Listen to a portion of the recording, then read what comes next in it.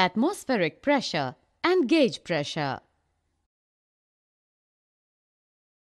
The pressure of the atmosphere at any point is equal to the weight of a column of air of unit cross-sectional area extending from that point to the top of the atmosphere. At sea level, it is 1.013 into 10 raised to the power 5 Pa or 1 atmosphere.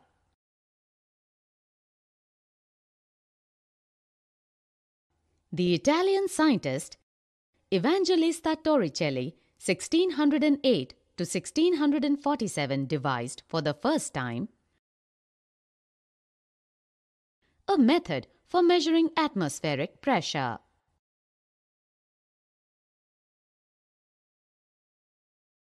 A long glass tube closed at one end and filled with mercury is inverted into a trough of mercury.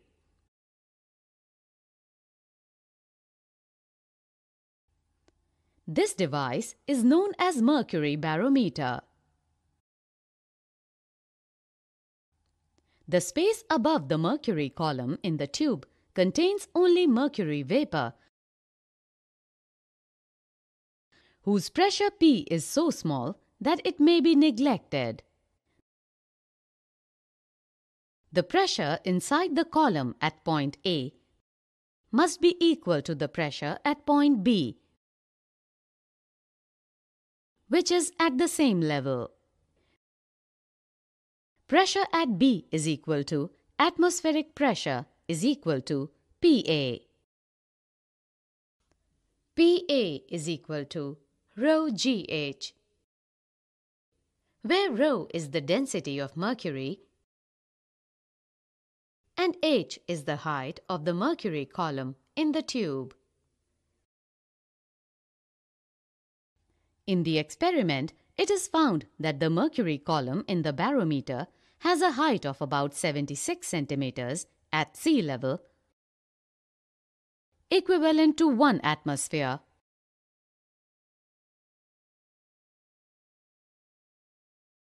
An open tube manometer is a useful instrument for measuring pressure differences.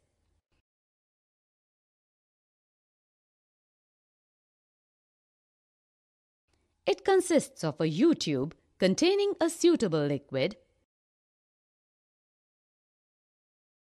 that is, a low-density liquid such as oil for measuring small pressure differences and a high-density liquid such as mercury for large pressure differences.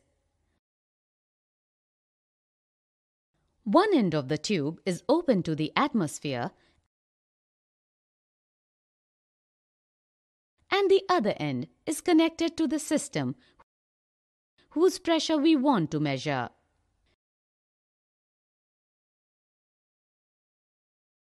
The pressure P at A is equal to the pressure at point B.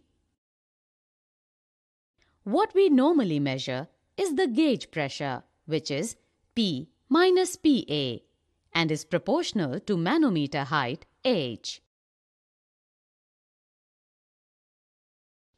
Pressure is same at the same level on both the sides of the U-tube containing a fluid.